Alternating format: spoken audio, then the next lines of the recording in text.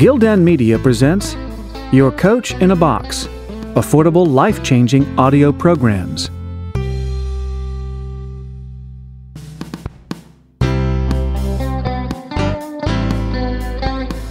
Wealth, War, and Wisdom.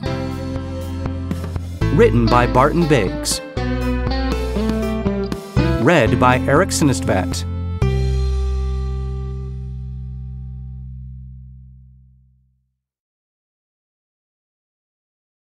Introduction And I looked, and behold a pale horse, and his name that sat on him was Death, and hell followed with him. And power was given unto them over the fourth part of the earth, to kill with sword and with hunger, and with death. Revelation chapter 6, verse 8. Two subjects have long obsessed me. First, Stock markets on a short term basis are random, irrational, and undecipherable. But at major inflection points, and in the long term ebb and flow of events, are they truly intuitive and wise in their judgments, or do stock prices mostly just reflect the foolish consensus of crowds? Second, at least once in every century, there has been an episode of great wealth destruction when the four horsemen of the apocalypse pestilence, war, famine, and death have ridden roughshod. World War II was the last time that the pale horse with death on his back and hell following him terrorized the world. How do you preserve wealth in times when the four horsemen are on the loose? We know from history that equities are wealth enhancers in good times, but do stocks work as true wealth preservers when their country, their home society, is facing defeat and occupation from a foreign power? If they don't, what should a person with wealth do? How well, in real inflation adjusted purchasing power terms, do public equities perform? To be the ultimate repository of family or institutional capital, an asset class, an investment vehicle, must be able to preserve as well as enhance wealth over the long run, in bad times as well as good. The value of accumulating wealth is terribly diminished if it cannot be preserved. As you become richer, protecting your fortune against the slings and arrows of outrageous fortune becomes at least as important as enhancing it. The preservation of wealth across time is not an academic matter. The world is, and always has been, prone to disasters that destroy great globs of wealth. In earlier centuries, there were wars, natural disasters, famines, and plagues. Then, in the 18th and 19th centuries, came revolutions that confiscated wealth and heads. The last century, the 20th, was perhaps the most ruinous of all time, with World War I, hyperinflations, the Great Depression, and then the interconnected climax, the worst ravager of them all, World War II. It was truly a world war, and in retrospect, it was a close call whether Western civilization as we know it was going to survive. The Second World War has long been a fascination of mine, it offers so many lessons about life, politics, financial markets, wealth, and above all, survival. I have read and studied it for years, but as an amateur, not as a professional. World War II was unquestionably the war of the century, and probably the war of the millennium, because it gripped, ravaged, and tortured almost the entire world. Its effect on the conquered and then occupied countries, and later on the losers of the war, was so extreme that it was the ultimate test in modern times of whether public equities or any asset could preserve the purchasing power of wealth in the face of a prolonged and total national disaster. It also was an epic struggle, with first the Axis powers and then the Allies appearing to be prevailing. The 1930s and 1940s were an incredibly dark time for the world. Until you become really engrossed with the actual diary of events, you don't realize how grim things were, and how close the world came to a new dark age. Thus, I spend a lot of time in this book on the ebb and flow of the war, and on the character and management styles of the leaders on both sides. I think I have found and included some unusual insights on Hitler, Churchill, Mussolini, and others. Wealth, War, and Wisdom focuses primarily on the events that occurred between 1938 and 1943 and not the Allies' later victories, because it was the turning points in the struggle that mattered. Korea is included because of its significance for the Japanese market. Investors, and for that matter, people in general, have to deal with adversity and hard times.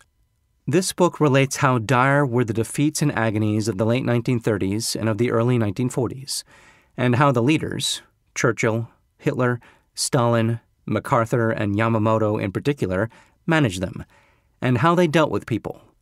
All of us professionals have to practice and endure crisis control, and this is another reason why investors read history and biographies.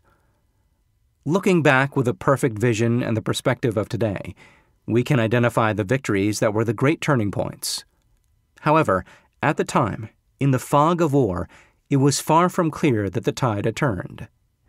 Did equity markets, with the unique wisdom of the crowd, through a glass darkly, sense these moments?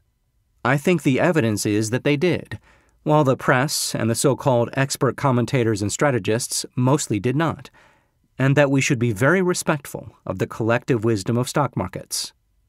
This means listening to what the market is saying by its action. Chapter 1 provides more insight on the wisdom of markets.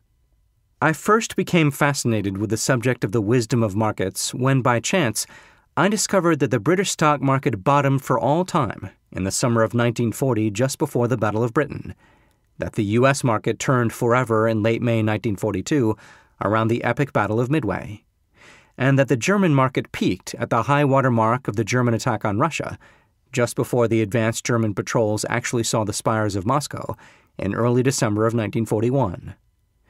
Those were the three great momentum changes of World War II, although at the time, no one except the stock markets recognized them as such. This, to me, confirmed the extraordinary and unrecognized wisdom of market crowds. This leads to another important point. Today, almost every investor is a contrarian. Everyone knows about the dangers of groupthink and the madness of crowds. But is there a special intuitive wisdom in the uncoordinated ebb and flow of the investor crowd? I have come to think there is. Mr. Market is a smart, canny old soul, and during World War II he often, not always, but often, sensed important tipping points that at the time few of the elite grasped. The ebbs and flows of the stock market reflect the collective opinion of the investor crowd, and in this book, I maintain that markets have great wisdom. The investor ignores their message at his extreme peril. Another major theme of the book is what happened to wealth before and during the war, and what insurance steps should a wealthy individual take to protect his or her fortune from the black swan like appearance of the apocalypse. I also have studied whether stocks and bonds preserved and enhanced wealth not only in the years of extreme duress from 1930 to 1945, but also over the course of the century. I could not have come to the conclusions that I have without the massive studies of Elroy Dimson, Paul Marsh, and Mike Staunton of the London Business School. I found that equities generally did preserve wealth over the full course of the century, and particularly if you own the right stocks in the right country. Chapters 9 and 15 especially address this topic. However, stocks, and bonds for that matter, had substantially higher returns if their country of residence was on the winning side. If your homeland lost the war and was occupied, public equities did not work during the years of war and occupation, and bonds were even worse. Moreover, for the first 50 years of the 20th century, equities in both France and Germany, adjusted for inflation, were a wealth losing proposition Government bonds were a disaster. Asset diversification helped. Real assets such as land, property, gold, or a business were somewhat better than stocks, but far from perfect. A working farm protected both your wealth and your life. The other solution was having money outside the country in a safe haven. But of course, that didn't help you keep body and soul together at the time. As far as I know, much of the market data has never been compiled in this form or published before. Wealth, war, and wisdom also relates what happened to other forms of wealth, such as bonds, land, gold, jewelry, and property during those years. Again, primarily in chapters 9 and 15. Anyone with wealth has to care about all this. There is no use working yourself to death to accumulate wealth if it can't be preserved and enhanced.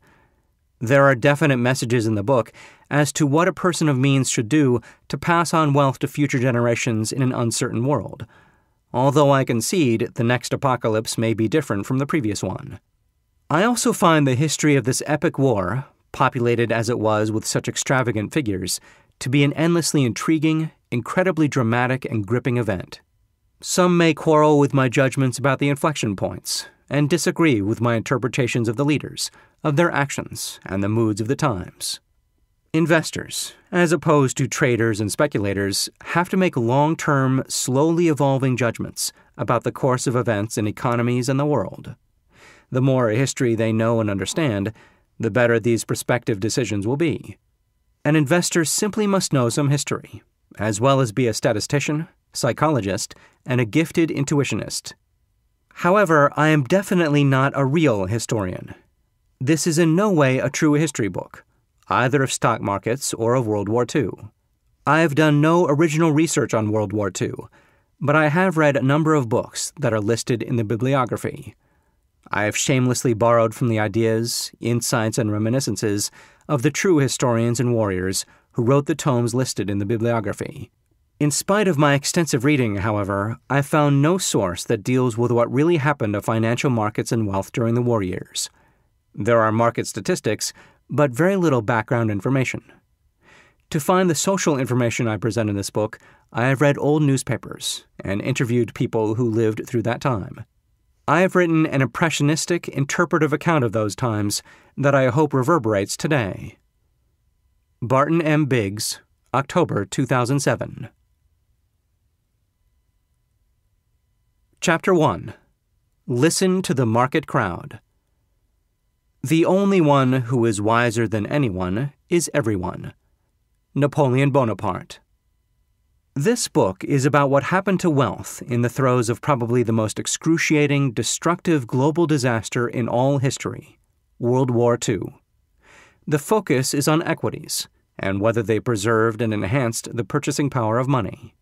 It also looks at what amount of diversification and other assets people with wealth should have to protect the purchasing power of their fortunes.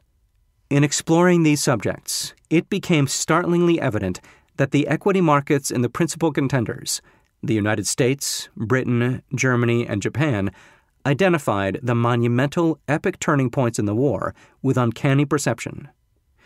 The conventional opinion today is that crowds in general, and the stock market crowd in particular, are manic beasts However, as you study the history and read the sociology, you begin to come to the conclusion that there is great wisdom in crowds, that the equity market itself is the epitome of a wise crowd, and that we should pay close attention to its messages, particularly when it reverses its trend. Much has been disparagingly written about the madness of crowds. In fact, it has become the deeply entrenched conventional wisdom. However, as James Surowiecki has pointed out in his original and insightful book, The Wisdom of Crowds, it's the collective judgment of crowds and their intuitions that we should be respectful of. The great classic is Charles Mackay's Extraordinary Popular Delusions and the Madness of Crowds, which is religiously stacked in every professional investor's bookcase. Its most famous lines undoubtedly are Men, it has been well said, think in herds it will be seen that they go mad in herds, while they only recover their senses slowly, and one by one. Friedrich Nietzsche wrote, Madness is the exception in individuals, but the rule in groups. Another classic on crowd behavior is Gustave Le Bon's The Crowd, a study of the popular mind, published in 1896. Le Bon, an aristocratic autocrat if there ever was one, believed crowds invariably make bad decisions and act foolishly. Crowds can never accomplish acts demanding a high degree of intelligence, writes Le Bon, and they are always inferior to the isolated individual. Le Bon's definition of a crowd was broad, in that it included any kind of group that could make decisions. This disdain for crowds is deeply embedded. There is the old saying, source unknown, none of us is as dumb as all of us. Then we have that self proclaimed investment genius Bernard Baruch, quoting German poet and philosopher Friedrich von Schiller. Anyone taken as an individual is tolerably sensible and reasonable. As a member of a crowd, he at once becomes a blockhead. And Scottish historian Thomas Carlyle proclaimed, I do not believe in the collective wisdom of individual ignorance. A crowd morphs into a mob when it becomes disorderly, violent, and vulgar. The etymology of mob is from the Latin, mobile vulgus. The inference is that a crowd, and particularly a mob, can be easily manipulated and turned to dangerous and evil pursuits. The bad reputation of groups or crowds is not undeserved. But what is not appreciated is that when asked or required to make judgments independently and in a rational way, the record of crowds is impressive. In other words, the disparagement and mockery of Le Bon and the others are mostly incorrect. In the investment world today, even a mention of the crowd has an intensely pejorative connotation. Everyone knows you don't want to be part of the crowd because the crowd is always wrong. Avoid crowded trades at all cost has become a hedge fund maxim. Distrust of the wisdom of crowds has become deeply embedded in the psyche of professional investors, strategists, economists, and sometimes the media. Conversely, it has become very fashionable to be contrarian. In other words, to do the opposite of what the crowd is doing, because the crowd is so stupid and is almost always wrong. If everyone is bullish on the equity market, then the contrarian will be bearish, and vice versa investors assiduously track sentiment indicators in order to do the opposite. Strategists and economists, often in the preamble to their reports, boast that their view is contrary to the consensus, as though that supposition alone is more important than all their analysis. In reaction to the popularity of contrarianism, one of the best investors in the world, George Soros, once described himself as a contra contrarian. It is a truism that human beings are reactive imitators and are subject to emotional extremes of euphoria and despair. Investors and speculators run the gamut from greed to fear as they passionately, blindly stampede after markets and prices. From time to time, this leads to excesses and eventually to bubbles. However, as will be discussed, this does not invalidate this book's assertion that collectively the investor crowd often has superb intuitions about long term events, and that these judgments should be respected and followed. Ignore the opinion of experts. They're not reliable forecasters. On the other hand, there is increasing evidence that relying on expert opinion for advice is a loser's game. Philip Tetlock, in his new book, Expert Political Judgment How Good Is It? How Can We Know? concludes that expert opinion on politics, economics, and business should be ignored as random blather because experts are even less accurate than non specialists in guessing what is going to happen. Tetlock tracked 284 experts who made 82,361 forecasts over a period of years. What a tedious labor of sifting and evaluating masses of horse manure. Anyway, he found, among other humiliating things, that the alleged experts were right less than half the time, and that they were worse than dart throwing monkeys in forecasting outcomes when multiple probabilities were involved. As the Danish physicist Niels Bohr said, prediction is very difficult particularly about the future. After reviewing this accumulation of data, Tetlock concluded that although you need to be reasonably informed on a subject to make credible predictions of events or the economy, knowing a lot, being regarded as a real expert, a wise man, a guru, actually makes someone less reliable as a forecaster. The more facts, information, and history an expert knows, the more likely he is to have pet theories and to have developed complex chains of causation in making a prediction. Tetlock believes this is why experts fail to outpredict non experts. The odds tend to be with the simple and the obvious outcome. Tetlock reports that the better known, more quoted, more self confident, and better credentialed an expert, or should we say pontificator, is, the more likely he is to be wrong. Another reason that pundits who appear regularly on television are particularly unreliable is because they become obsessed with showmanship. In other words, they strive above all to be original and different, often just for the sake of being original and different. The clever, ingenious, outrageous forecast gets the most attention. Their tenure on the talk shows, or CNBC and CNN, and in many cases their compensation, doesn't hinge on their accuracy. Because there are so many forecasts being made, no one can keep track of them but on their entertainment shock value. Although they may not even acknowledge this, it complicates their thinking and screws up their expert heads. After his study of the record of experts, Tetlock came to some other interesting conclusions. First, when experts are wrong, they seldom admit it. Second, experts tend to dismiss new information that doesn't fit with their previous beliefs or actions. This is called cognitive dissonance, and it has proved to be an ailment of the George W. Bush administration. Third, and even more disappointing but not surprising, they're much tougher in assessing the validity of new information that undercuts their theories than they are in evaluating information that is supportive. Finally, Tetlock divided the experts into two groups using the Isaiah Berlin analogy of hedgehogs and foxes. Hedgehogs are experts who know a great deal about one big thing and tend to analyze complex problems from that framework. Within their small circle of competence, they are regarded as brilliant. Foxes, Tetlock says, are thinkers who know many small things, are skeptical of grand schemes, see explanation and prediction as flexible exercises that require stitching together diverse sources of information, and are rather diffident about their own forecasting prowess. Tetlock found that the foxes were significantly better predictors than the hedgehogs. The foxes' cognitive diversity gives them a broad structure from which to analyze complex problems. For example, in the investing world, there are highly educated, very intelligent quantitative hedgehogs armed with PhDs and powerful computers. For a while, their inventive models produce superior investment performance. Then their success spawns imitating competitors.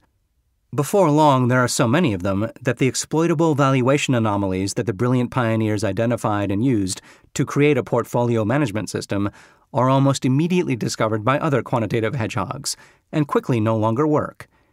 It is the investment world's latest version of creative destruction. It's hard to argue with Tetlock's data. However, the skeptic would reply that while Tetlock may be right about all experts as a class, there are some, particularly in specialist areas such as technology and the sciences, that are worth paying attention to. As for political or stock market forecasters, there are few that should be listened to. The problem is that just because someone has been right recently doesn't mean that individual is going to continue to be right. In fact, with professional investors, it's often just the opposite. Nevertheless, it can be amusing and sometimes stimulating to listen to an articulate and erudite forecaster. You just shouldn't be under any illusions about the class's long term record. All this bashing of prognosticators and strategists is written with a pinch of chagrin, since the author once sheltered under that sobriquet. Global markets understood what was happening during World War II. Intuition, gut hunches, and common sense count for a lot in making forecasts.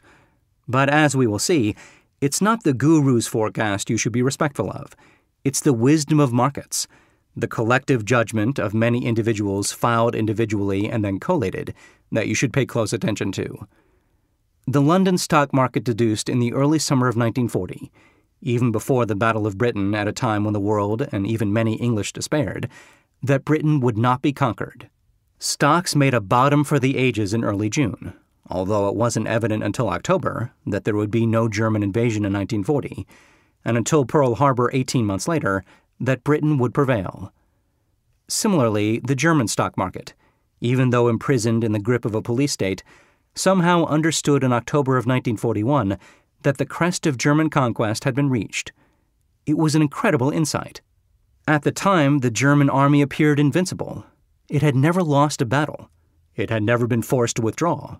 There was no sign as yet that the triumphant offensive into the Soviet Union was failing. In fact, in early December, a German patrol actually had a fleeting glimpse of the spires of Moscow, and at the time, Germany had domain over more of Europe than the Holy Roman Empire. No one else understood this was the tipping point. The New York stock market recognized that the victories at the battles of the Coral Sea and Midway in May and June of 1942 were the turn of the tide in the Pacific and from the lows of that spring never looked back.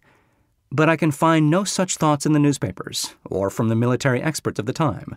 A barrage of defeats and surrenders had engendered intense criticism of the management of the war and the commanders in the field.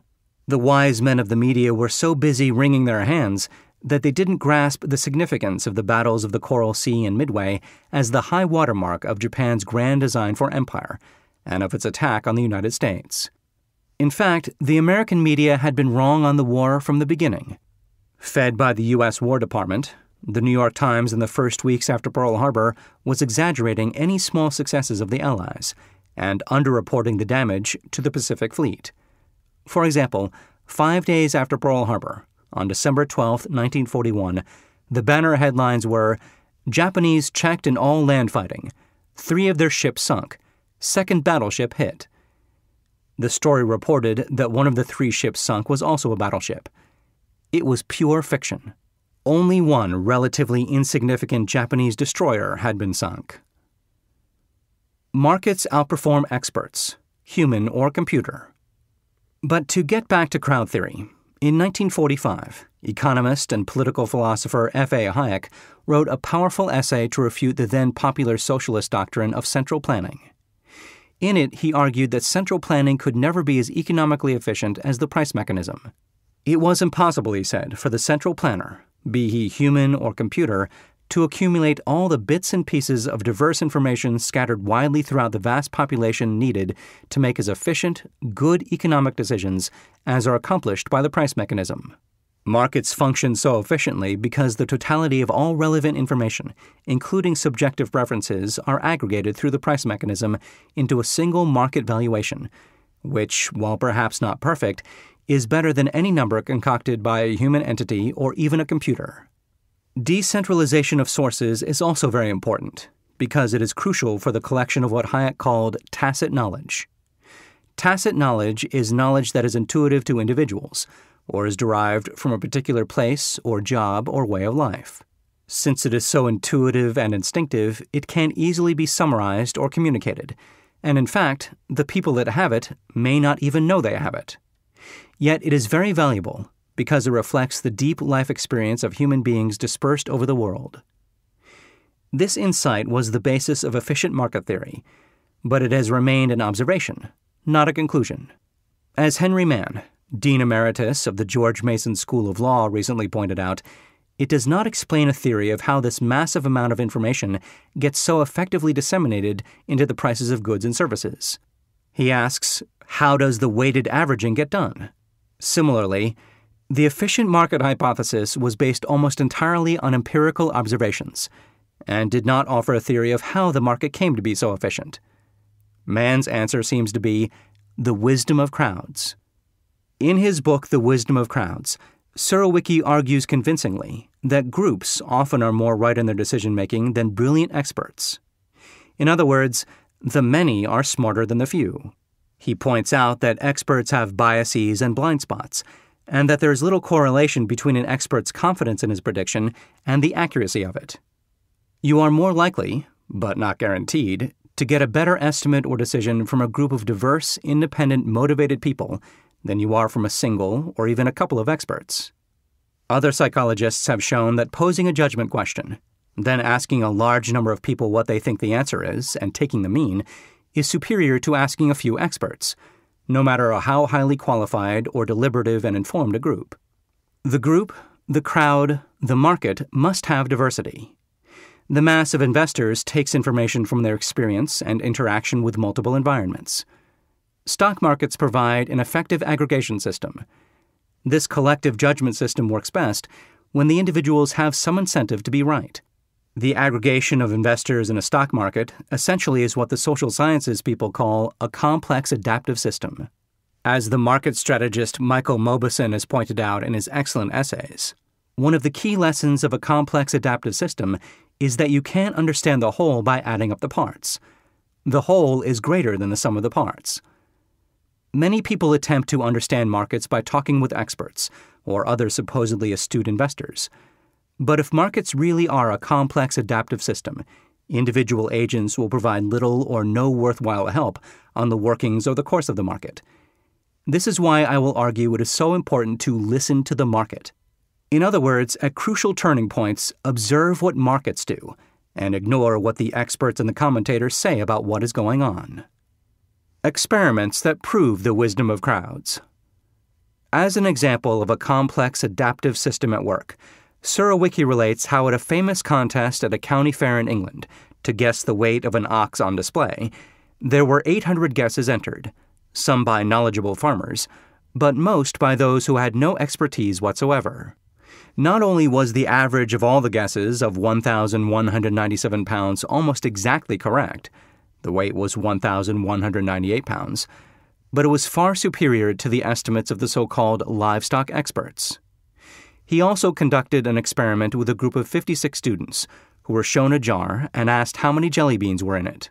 The average of the group was 871, which was closer to the correct number of 850 than that of all but one of the students' estimates. Surowiecki conducted a number of similar experiments. He tells in his book how he would approach random people in New York's Times Square and ask them how many jelly beans were in the plastic jar he was carrying, or to estimate his weight. They must have thought he was nuts. On another occasion, when he was in front of an audience, he succinctly described his study and asked them to guess how many books were in it. At the time, he didn't even know himself. In each case, the average of the collective guesses was very close to the mark and the average was better than the vast majority of the individual guesses. He argues the misjudgments that individual people make effectively cancel themselves out, leaving you with the knowledge that the group has. Incidentally, the larger the crowd, and as noted previously, the more decentralized it is, the more reliable its decision will be. Obviously, a stock market is a very large, decentralized crowd indeed. Manne goes on to make the point that the literature of prediction, or of virtual markets, proves that the more participants in a contest, and the better informed they are, the more likely the weighted average of their guesses is likely to be correct. Surowiecki writes of the remarkably successful results of the Iowa electronic markets, IEMs, in which speculators make bets on the outcomes of elections. The resulting predictions from these wagers have been much better than those of the political pundits in the polls. The betters in the IEMs aren't predicting their own behavior, but are forecasting what the voters of the country will do. Three quarters of the time, the IEM's market price on the day each of the pre election polls was released was more accurate than the results of the polls. In the last five presidential elections, the IEM predicted the vote percentages with an absolute average error that was nearly 30% less than the experts. In the 2004 election for Prime Minister of Australia, just before the election, the pundits were saying the race was too close to call, while Australia's equivalent of the IEM, Centrebet, showed John Howard comfortably ahead. He won easily. The IEM's and Centrebet's superior results also confirm that predictions are best when the predictors are motivated with real money at stake. Groupthink versus crowdthink. Both Manne and Surowiecki maintain that it is essential that participants be diverse and their judgments be independent of each other. The participants also must care. There should be an economic incentive. Their estimates can't be casual throwaways. They also can't sit around and exchange ideas about what the right answer should be and then finally reach a consensus. If they did, their collective judgment would become groupthink, with all its well known and pernicious sins. Groupthink results in decisions that usually are less wise than the knowledge of the collected individuals. When properly collated, crowdthink is just the opposite. James Montier has written extensively and well on behavioral finance, and he argues that these findings are true, but only under a very strict set of circumstances. Three conditions must be met, says Montier. First, people must be unaffected by others' decisions. Two, the probability of being correct must be independent of the probability of everyone else being correct. 3. The participants must be unaffected by their own vote possibly being decisive. I would add that good group decisions are more likely to occur when most of the members of the group either don't know or don't pay any attention to what other members of the group think.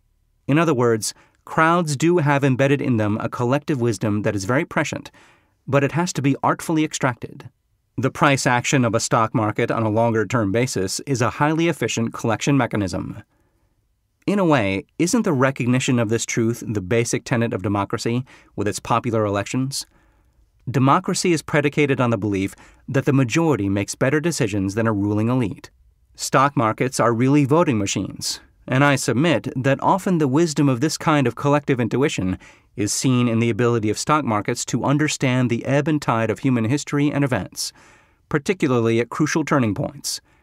As Surowiecki writes, the idea of the wisdom of crowds is not that a group will always give you the right answer, but that on average it will consistently come up with a better answer than any individual could provide. The Japanese stock market was wise during the Second World War and at the onset of the Korean War, but the French bourse was dead wrong in 1941 when it forecast prosperity from the German occupation. The stock market should be a good case study of whether crowds have some wisdom. Not wisdom on little things, but insights on the ebb and flow of great events. The stock market encompasses a very large, diverse crowd of people, and even in the Second World War years, there were at least several hundred thousand active participants in each of the major equity markets of the world. Because of the diversity of this collection of investors, and because it is also decentralized with a lot of tacit knowledge, this crowd brings a variety of different intuitions to the process. In addition, it is a relatively intelligent and well informed crowd. All investors are not rocket scientists, but they are not complete idiots either. Just the fact that they have sufficient money to be investors suggests there is some natural selection process at work. Furthermore, the stock market crowd fulfills the motivation criteria because the judgment this group is making involves its own money. It is a crowd of foxes, not a crowd of hedgehogs. As a result, the stock market is a wise and far seeing old thing. It can get panicky and crazy in the heat of the moment. And as we all know, it can get suckered into frauds and blow enormous bubbles. Individual investors and clusters of investors can be irrational or become irrational, but the overall market on a longer term basis is generally rational. As Mauboussin puts it, we must be very careful to avoid extrapolating individual irrationality to market irrationality. In fact, investors with their extremes of fear and greed make the stock market prone to boom and bust cycles. But every mania stems from some degree of substance in a life changing development, whether it was the railroads in the 19th century or technology in the waning moments of the 20th. In retrospect, even in 2000, there was some rationality in the market as a whole tech and internet growth stocks were selling at ludicrous valuations, but other major value segments of the market that were out of favor were ridiculously underpriced. I am not for one moment arguing that the crowd is a good interpreter of individual sectors or stocks. However, despite the fog of war and the smoke of statistics, the stock market has a great nose and amazing intuitions. This is what the wise old traders are expressing when, in the face of a gloomy environment or bad news, they say the market is acting well, or vice versa, the market is acting badly.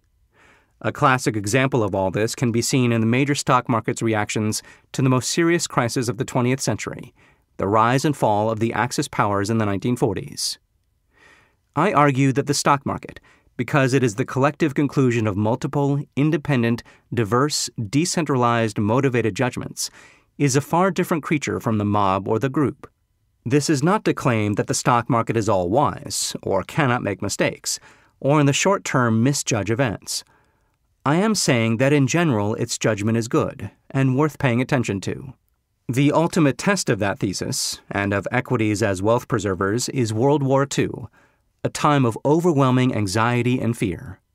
In the next chapter, I describe a world darkened by fear and the malaise that depressed stock markets.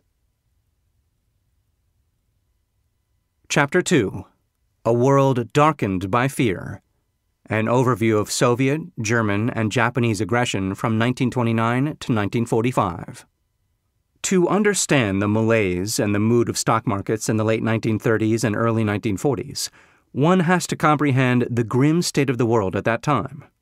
As everyone who hasn't been in a coma knows, the Great Crash in 1929 was followed by worldwide deflation and a deep depression. Fiscal and monetary policy errors had compounded the despair, and the democratic capitalist system seemed incapable of the necessary response. Wealth had been obliterated, and equity valuations everywhere had been relentlessly driven to record lows. However, by 1936, the world economy and financial markets had partially recovered, only to sag again in the late 1930s and early 1940s. Capitalism seemed a failed creed, and many thoughtful people wanted to try either communism or National Socialism. But there was another reason why investors were so depressed.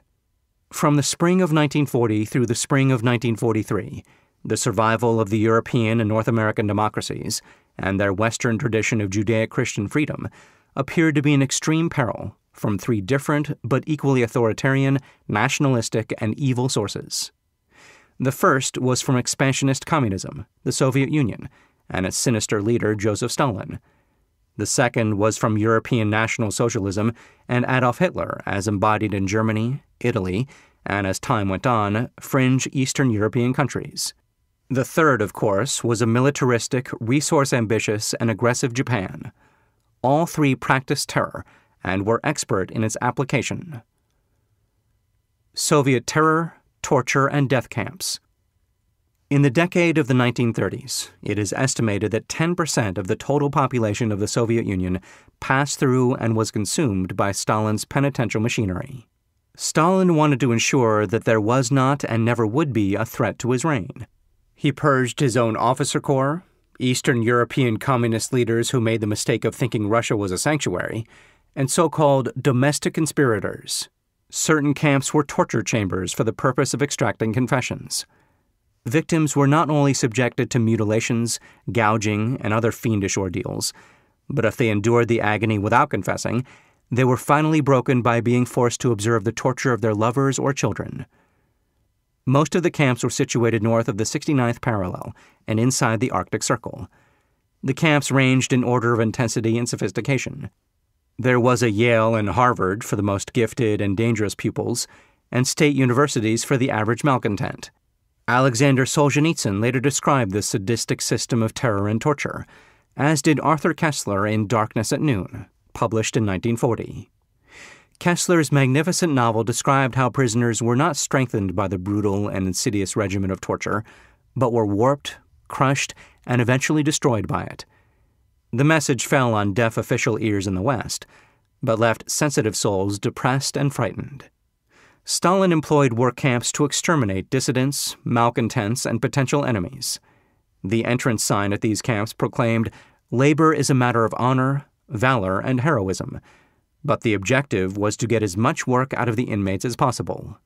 The men worked 16 hours a day, were subject to savage beatings, slept in unheated barracks with temperatures below zero, and were given meager rations of food. The theory was that it took 20 to 30 days to work a healthy man to the point of death, whereupon he was machine gunned at the weekly mass execution. The rapid death rate required a steady stream of raw material, which the Soviet secret police, the NKVD, provided with relish. In March 1940, thousands of returning POWs from the embarrassing war with Finland were greeted in Leningrad with the banner, The Fatherland Hails Its Heroes, and marched straight to the railroad yards, where they were loaded into cattle cars and sent to the camps. The archives indicate that between 1936 and 1939, four and a half million men and women died in the work camps, and that the total number of deaths from Stalin's cleansing policies was around 10 million. Germany overruns Europe. Meanwhile, Spain had fallen to Francisco Franco. China was again being raped by Japan. Czechoslovakia bullied by Germany. And Italian aircraft were using mustard gas against Ethiopian tribal villages in Benito Mussolini's quest for empire. Ah, murmured the complacent, but he has made the trains run on time. By 1940, the most imminent threat came from the fascist or so called Axis powers Germany, Japan, Italy, and assorted vassal nations, which seemed poised to rule the world for at least a generation. In the end, it was a close thing. Financial markets, a sensitive gauge of sentiment, in the early 1940s trembled and plummeted. By 1942, a map of the world showed Germany in control of most of Europe, with its fierce hegemony stretching from the North Sea to the very gates of Moscow and Leningrad. At the peak of its expansion across Asia, Japan controlled 10% of the landmass of the world and much of its most precious natural resources. Since the actual fighting had begun in 1938, no army had been able to prevail in battle against the Wehrmacht, the most highly trained, disciplined, and well equipped army in the world. By 1940, as John Lukács points out in The Duel, Hitler's armies had conquered all of Western Europe with less cost in men and equipment than the German army had expended in World War I for a few miles of trenches and mud. The resistance of the smaller European countries to this onslaught could be measured in days, and France, in spite of her large army and supposedly impregnable Maginot Line, had ignominiously been routed by the German blitzkrieg. The British Expeditionary Force had barely escaped total annihilation at Dunkirk, and the Royal Navy had suffered grievous wounds at sea in North Africa and Norway. Britain still stood resolute in her island home, but she was slowly being starved to death by the U boats, and no matter how gallant her armies, they had proved ineffective against German technology, discipline, and daring. Perhaps even more frightening was the inherent evil embodied in the Nazi credo and its dynamic, psychotic leader, Adolf Hitler. The terrible extermination that was underway of Jews, Gypsies, and the Slavic people, and the concept of a master race, were both deeply terrifying and profoundly depressing because it seemed so few stood against them. The thought of a thousand year Reich was enough to dismay even the stoutest heart. In the early 1940s, Hitler, Der Fuhrer, with his violent yet magnetic and charismatic personality, loomed over the world like an evil genius. He had single handedly, with force, terror, but also ideas, saved Germany from unemployment, starvation, and probably a communist revolution. Never in the modern history of the world had one man so completely hypnotized so many millions. Hitler was a dynamic, passionate public speaker able to lift a crowd with his fanatical ravings. As an orator, he could establish an uncanny emotional communication with his audience that went beyond words. He fully understood the value of pageantry and color, and he, like Winston Churchill, recognized the power of the radio. Corporal Hitler in World War I had been twice wounded and had won two Iron Crosses of the first rank for extreme heroism, a decoration that was seldom awarded to common soldiers. Nietzsche had celebrated in academic terms the concept of the Superman. As a frontline messenger, Hitler seemed to have a charmed life. He had accomplished and returned from missions that no one else survived. But he was not foolhardy, just brave, and he fastidiously prepared himself by studying the terrain he had to cross. Between missions in his trench, he read Karl von Clausewitz, a Prussian soldier in the late 1790s and early 1800s who later was an influential military theorist, to whom he uniquely granted the title of intellectual master. Part of his puissance with both men and women derived from this aura of courage, infallibility, and invulnerability. In the eyes of many, he had assumed the mantle of the German Superman. Hitler was a man of normal size, perhaps five feet nine, about 150 pounds. He was not particularly handsome. His nose was too thick, and he usually dressed simply but neatly. His hands were well formed, with long, graceful fingers, and he gestured with them, both while delivering a speech and in more casual conversations. However, it was the eyes that dominated the otherwise common face. They stared at you with hypnotic, piercing, penetrating power. They were a light blue but with great depth. Even as dispassionate and cosmopolitan a reporter as William L. Shirer who was the foreign correspondent for CBS and Universal News, wrote that he had never seen anything like them. They reminded me of paintings I had seen of the Medusa, wrote Shirer, whose stare was said to turn men into stone or reduce them to impotence. Women were fascinated by Hitler's eyes. However, they froze men. People said that with them Hitler could see into the future. When you looked at him, you were drawn to these bottomless eyes that had such power and perception. Hitler, like so many Germans, believed the fatherland had been stabbed in the back by its leaders in the aftermath of the First World War. He maintained hyperinflation, depression, and political chaos for the German people had been the result of this betrayal. His own life had been distorted by poverty and even hunger, and for years, even as he was rising to power, he was afflicted by an overwhelming infatuation for his niece. She may well have been the love of his life, but their blood relationship made it a desperate and eventually hopeless relationship politically.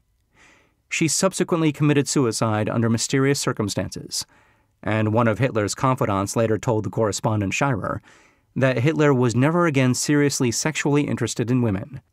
Apparently, Eva Braun, his mistress, was a sideshow. Hitler's intuitions about military and political events from 1935 until 1943 were original, unconventional, and almost infallible. He correctly calculated the weakness of his adversaries and their reluctance to fight, and his tactical decisions and audacious gambles succeeded time and time again, to the amazement of the German General Staff. He possessed an extraordinary understanding of human nature and an instinctive insight into the weakness of his adversaries. As Alan Clark wrote in Barbarossa, his epic study of the German campaign in Russia, the devil's hand guided Hitler, just as it was later to protect his life.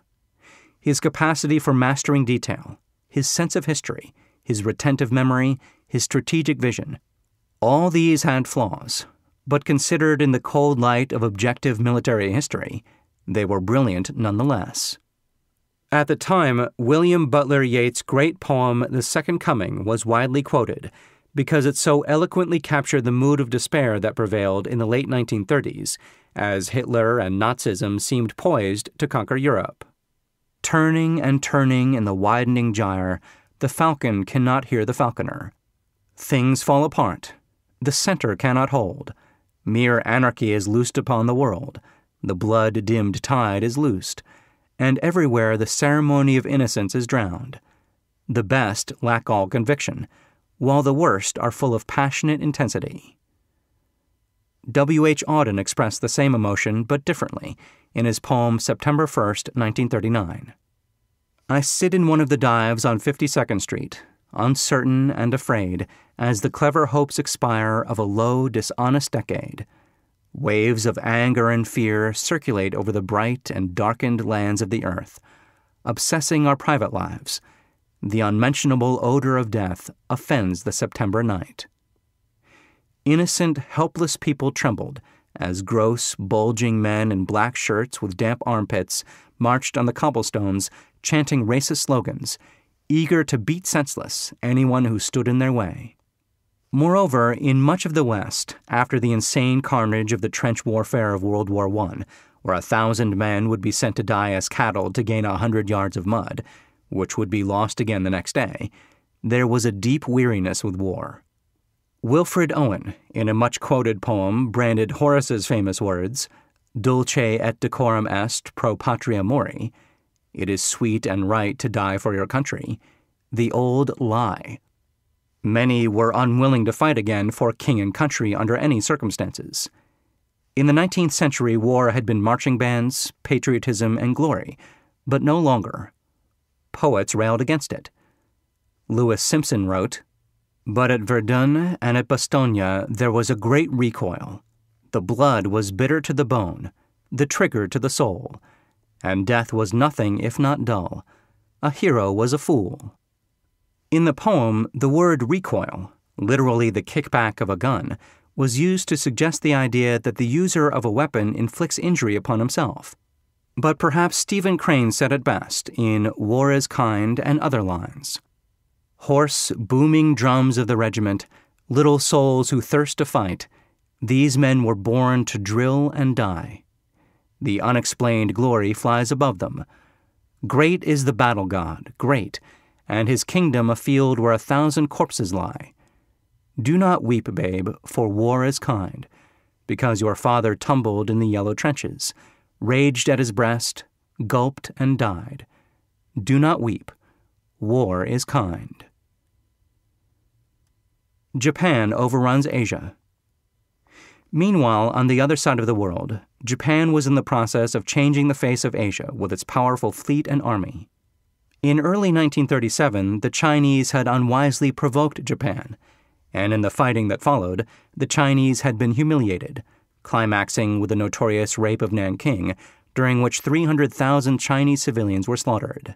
The China lobby in the United States was appalled and outraged, and Franklin Roosevelt, FDR, in a speech in Chicago, equated Japan with the Nazis. Well before Pearl Harbor, Japanese aggression had spread south and by the summer of 1942, Japan controlled the richest countries of Southeast Asia. Chapter 7 will discuss this in more detail. Not only was Japan gaining control of Asia's vast store of natural resources, the sinews of war, but by routing and humiliating the colonial powers, it was ending forever the old era of Western imperialism, gunboat diplomacy, and dispelling the myth of the white man's supremacy. The greater Southeast Asia co prosperity sphere struck a responsive chord, and in many areas the Japanese armies were initially welcomed by the local people as liberators from the colonial powers. In the longer run, the harsh and unnecessarily cruel Japanese occupations and their exploitative nature dissipated the friendly reaction and eventually engendered hatred. But that was not apparent in 1942. Moreover, in Hong Kong and Singapore, and what were to become Indonesia, Malaysia, the Philippines, Thailand, and above all, India, there was a deep restlessness and a strong desire for independence. The age of empire building was well and truly over. The U.S. had been badly bloodied at Pearl Harbor and had lost all of its Asian possessions except the key island base at Midway in the center of the Pacific. American military incompetence was the order of the day. By the spring of 1942, the Philippines also had fallen, and 65,000 men had been taken prisoner at Corregidor. Crushing naval losses had been suffered by the Allies in the Singapore Straits, in the Indian Ocean, and at the Battle of the Java Sea. Hong Kong had been taken in days. Malaysia was overwhelmed, and the great fortress of Singapore had been outflanked and had ignominiously surrendered. Australia and New Zealand were in mortal danger and their prime ministers groused at Churchill. Europe ravaged. The early 1940s were a time when most of Europe despaired for the future and was desperately hungry. The German occupiers either sent home massive amounts of food or consumed it on the spot. Across Europe, agricultural productivity had collapsed as the population in occupied countries became predominantly female. For example, from France alone, in addition to war casualties, 2,600,000 men had been shipped back to Germany as prisoners to do forced labor. Much of Europe believed the Germans would rule for generations, and therefore, at least tacitly, collaborated. After all, the penalty for resistance was the tender ministrations of the Gestapo or death. By the spring of 1942, the surname Quisling had become a common noun, denoting a collaborator and traitor. Concentration camps were where people disappeared to, and the Gestapo was a terrifying presence across Europe. It was a time when many supposedly wise and worldly men and women were convinced the Allies were beaten, both in Europe and Asia. Germany had not only won the war, but deserved to win it. They questioned the future and spoke of the abyss of a new dark age, which Churchill warned might be made more sinister and perhaps more protracted by the lights of perverted science capitalism and democracy had failed, and the German and Japanese brand of National Socialism rather than communism might be the palatable answer. After all, the economies of much of the Western world were still mired in a vicious cycle of depression, deflation, soaring unemployment, and social unrest that capitalism seemed unable to cure. The pessimists argued that democracy was an inefficient and impotent form of government that lacked the forceful leadership, efficiency, and freshness of National Socialism. The British Empire was unraveling. Her crown jewel, India, was rebellious and restless for freedom at midnight. Gandhi was threatening to negotiate a safe passage for Japanese troops through India to enable them to coordinate with Hitler in return for India's independence. Churchill worried about a Japanese invasion of India. Even in the United States, in many quarters, there was no sympathy for the empire. In early 1942, in a letter to the British people, Life, at that time the dominant American magazine, warned One thing we are sure not fighting for is to hold the British Empire together. The armed forces of the Western democracies seemed weak, inadequately equipped, and poorly led, in contrast to the technology, discipline, training, and boldness of the German and Japanese military juggernauts. In Europe, the German mechanized divisions with their panzers, half tracks, and motorized infantry had simply trampled and overwhelmed all opposition. In Poland, it had been tanks against cavalry. Both the Germans and Japanese immediately established air superiority over any battlefield, and the Japanese had been the first to understand that ship to ship gun battles at sea were mostly a thing of the past, and that aircraft carriers were now the crucial factor. They also realized that carrier based aircraft could sink the most powerful capital ships. In late 1941, Japanese aircraft sank off Singapore the pride of the Royal Navy, Repulse and Prince of Wales, with only the loss of a few torpedo planes and dive bombers. The German and Japanese strategists also understood the immense advantage of surprise, armor, and mass, and they seemed modern, brilliant, and daring tacticians while the Allies and the Russians appeared to be led by defensively minded, elderly defeatists. There were many pessimists on both sides of the Atlantic. Even Churchill admitted that when evenly matched, it seemed the Germans would always prevail. By the late 1930s, Adolf Hitler had created the most successful economy in Europe. German industrial production was up, and unemployment had almost disappeared. It was a false bloom of health fed by deficit spending on arms, but few realized that at the time. Already, Hitler was attracting allies in Central Europe, such as Hungary, Romania, and later Finland. The Japanese were proving themselves a resourceful, cruel, and relentless enemy, with their surprise attacks and surgical conquests. Mussolini seemingly had revitalized the Italian economy. How could the forces of freedom prevail? America, oblivious and self indulgent. In the midst of all this anguish, the United States seemed isolationist, oblivious, and self indulgent, and many people around the world maintained the American people were too parochial, too soft and weak to fight. In 1937, the American economy collapsed again. Unemployment soared from 14% to over 19% in 1938. The United Auto Workers shut General Motors with sit down strikes, and the police fired on workers armed only with slingshots. On October 1, 1937, a day that was christened Black Tuesday, both the stock and commodity markets panicked. The investment banks were caught with large underwriting positions in Bethlehem Steel bonds and a pure oil preferred stock issue, and there was talk of closing the stock exchange. Ironically, exactly 50 years later, on October 19, 1987, the New York stock market crashed again. The great Japanese Admiral Isoroku Yamamoto, who had studied at Harvard and been the naval attache to the embassy in Washington, D.C., remarked that the U.S. Navy was a club for golfers and bridge players. How could they have allowed their battleships to be lined up like sitting ducks helplessly in a row at Pearl Harbor? He doubted that in the open sea their crews could competently fight them. Yamamoto had high regard for the industrial prowess of the United States, but questioned the quality of her professional officer corps. The Japanese planners discounted any submarine threat because Americans were inherently unsuited for the physical and mental strain of submarine warfare. The American army garrisoned in Asia was not well regarded either. It was the old army of polo ponies, long golf games, cheap domestic help, and petty rivalries and dalliances at the Army Navy Club. James Jones, in his epic novel From Here to Eternity, describes this stagnant milieu.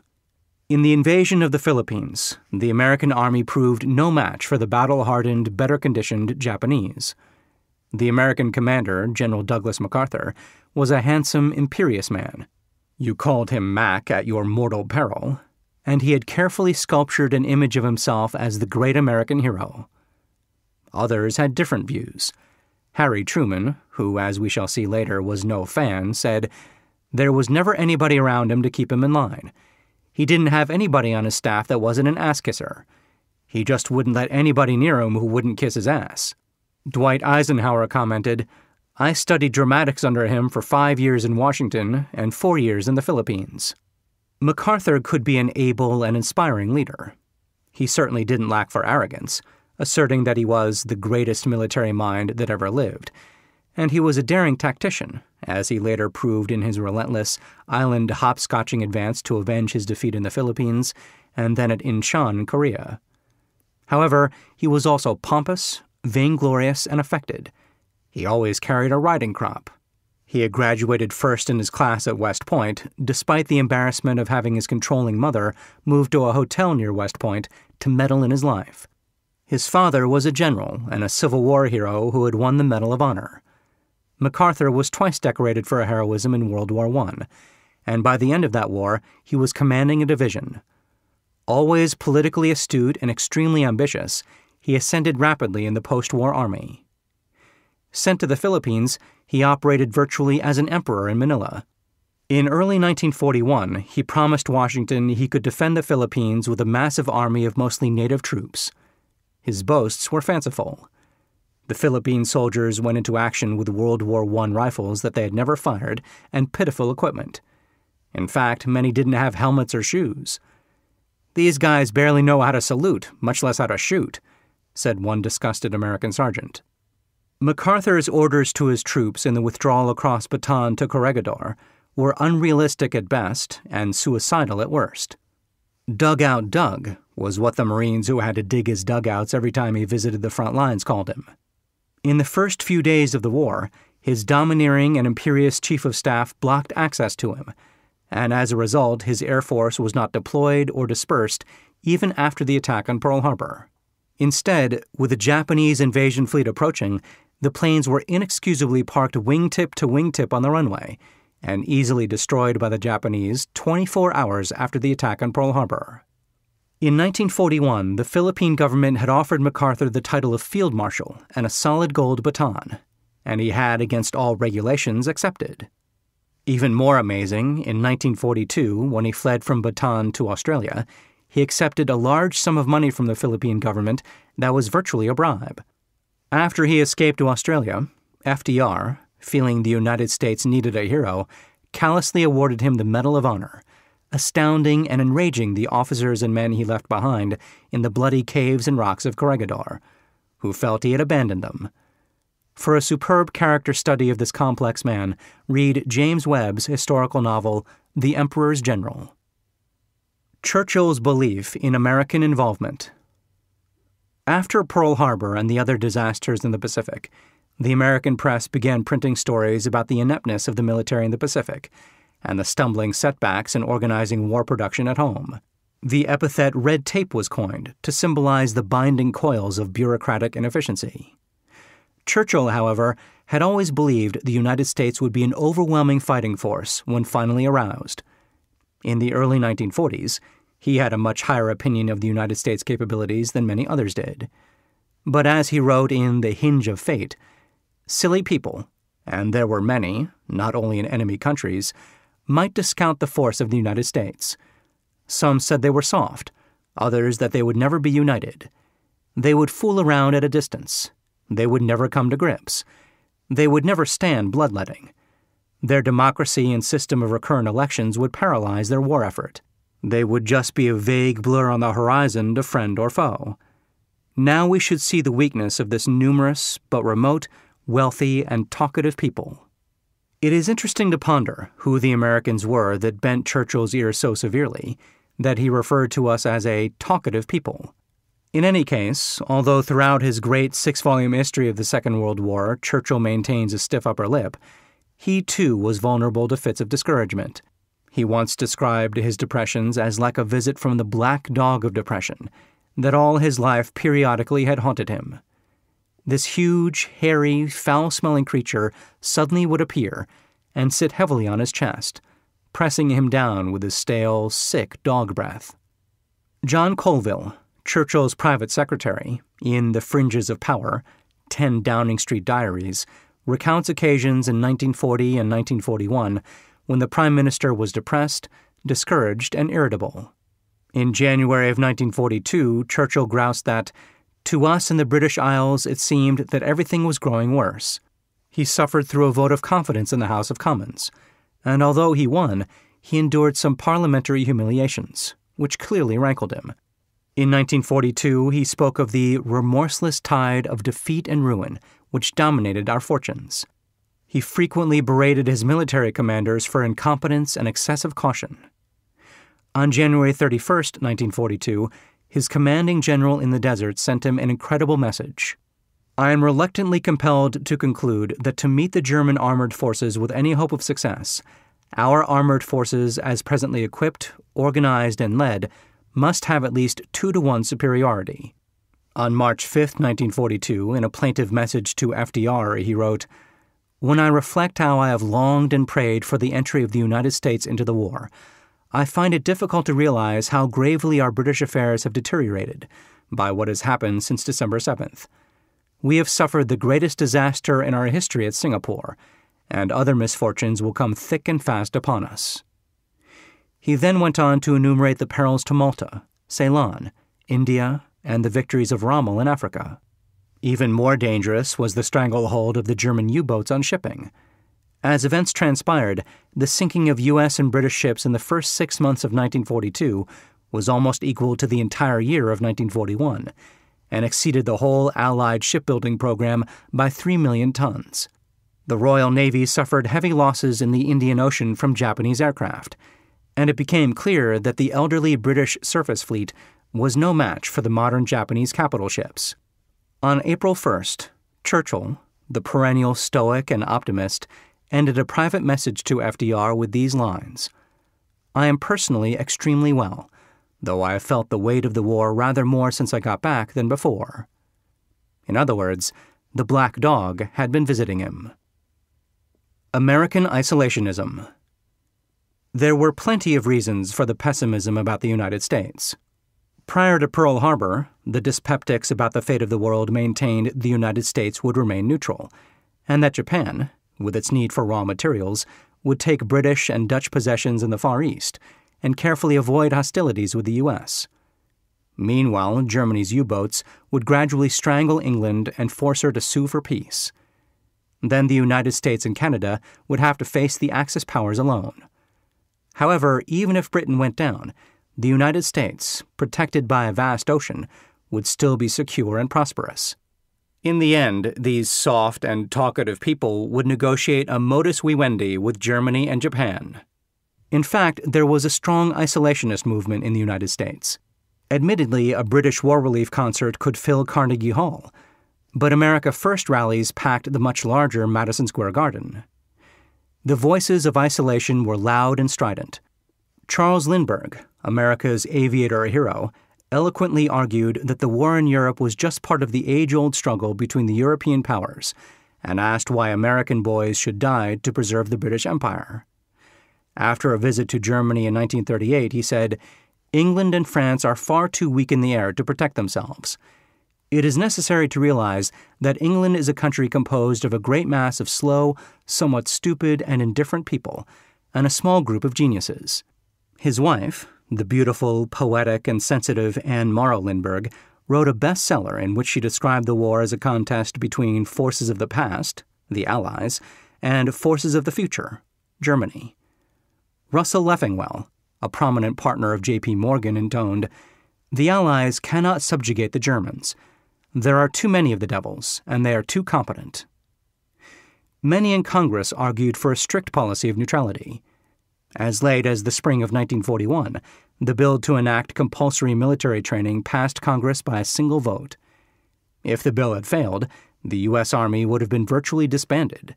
Half of the two million men called up in the first draft were dismissed as physically or mentally unfit for service. Isolationists made noisy speeches about how Wall Street and big business wanted war because of their bloodlust for profits. In this vein, a Wisconsin congressman, Thomas O'Malley, introduced legislation requiring that members of the richest families be drafted first. It will be Privates Ford, Rockefeller, and Morgan in the next war, he said.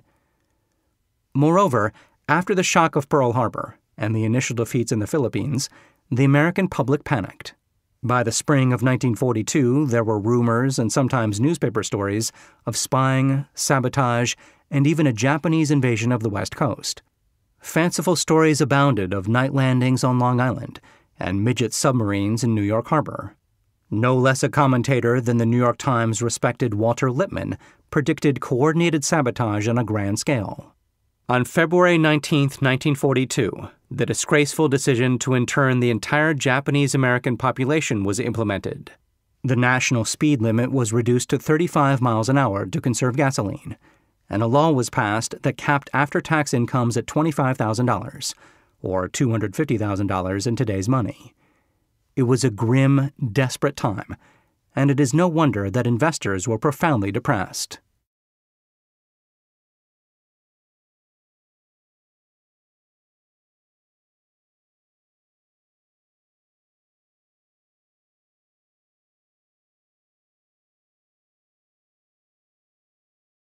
Chapter 3 Stock Market Struggle From the Great Depression to the Start of World War II. When war is declared, truth is the first casualty. Arthur Ponsonby. By the late 1930s, economies and stock markets around the world had generally made a modest recovery from the Depression era lows of the early 1930s. However, the economic recoveries had been fragile and most of the stock market rallies, although sharp, faltered after the initial spurt. In the case of the United States, the Dow Jones Industrial Average by early 1937 had almost quadrupled from the 1932 low, but was still down about 60% from its 1929 high. Investors around the world were still licking their wounds. Equities in the United States and Europe sold at five to eight times depressed earnings, at discounts to book value, and had yields considerably higher than bonds. The one exception was the German economy, which was booming by the standards of the 1930s, and the Berlin stock market, which was exhibiting sustained strength. But in general, the trauma of the Great Crash and the subsequent depression loomed over investors like a vast dark cloud. The Warren Buffett of the time was a scholarly Columbia. We hope you enjoyed this preview. To continue listening to this audiobook on Google Play Books, use the link in the video description.